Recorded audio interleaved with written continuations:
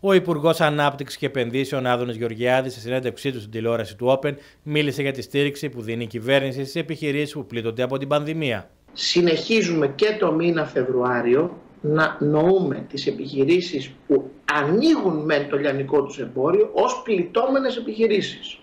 Πράγμα το οποίο σημαίνει ότι και το μήνα Φεβρουάριο οι επιχειρήσεις δεν θα λάβουν όλα τα μέτρα στήριξης που ελάμβαναν την περίοδο των κλειστές. Προφανώς εφόσον κάνουν κάποιο τζίρο, και ορισμένες κάνουν και μεγάλο τζίρο, Ναι. δεν θα μπορούν να πάρουν επιστρεπτή αποκαταβολή. Γιατί η επιστρεπτή αποκαταβολή έχει ως βασική προπόθεση την διαφορά του τζίρου, δηλαδή τη μείωση του τζίρου. Ναι. Εάν λοιπόν έχεις αυξημένο τζίρο, προφανώς δεν μπορεί να πάρεις επιστρεπτή Λοιπόν, εγώ αποκαταβολή. δεν έχω- Όμως θα έχεις τη Μάλιστα. μείωση του ενοικίου, θα έχεις την αναστολή των πληρωμών, θα έχεις όλα τα υπόλοιπα. Μάλιστα. Εγώ δεν έχω Και κάτι καταλάβει τέτοια για να φυσικά, δεν κλείσουμε. έχει διαφορά τζίρου, έτσι, Αν σε το κάλυψε ο κύριος Γεωργιάδης. Δεν έχω καταλάβει την Παρασκευή, να το επαναλάβουμε λίγο.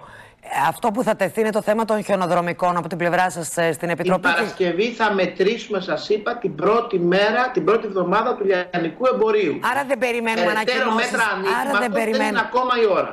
Θα Άρα δεν δούμε. περιμένουμε Είναι ανακοινώσεις σωστή για απάντηση. περαιτέρω άνοιγμα. Με τα Θα δούμε. ξενοδοχεία. Αυτά θα μας τα συζητήσει Ό- ή θα τα συζητήσουμε όταν- με τους γιατρούς με βάση την επιδημιολογική εικόνα.